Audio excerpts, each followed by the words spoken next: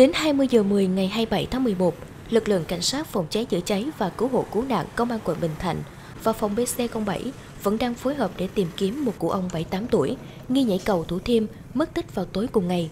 Theo thông tin, khoảng 18 giờ 30, lực lượng chức năng nhận được tin báo có người nhảy cầu Thủ Thiêm, phường 22 quận Bình Thạnh nên đã triển khai nhiều chiến sĩ, phương tiện và cano đến hiện trường tìm kiếm.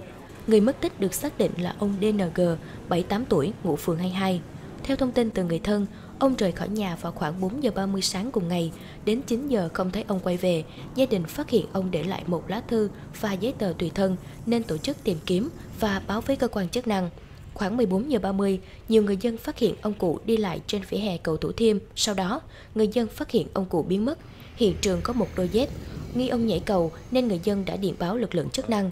Nhận tin báo, lực lượng chức năng quận Bình Thạnh đã có mặt lặn tìm kiếm người mất tích, thu thập thông tin từ người thân.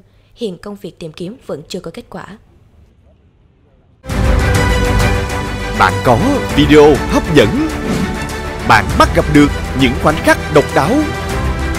Hãy gửi về plo a vòng pháp luật tb.vn để nhận ngay quà tặng và những bút hấp dẫn.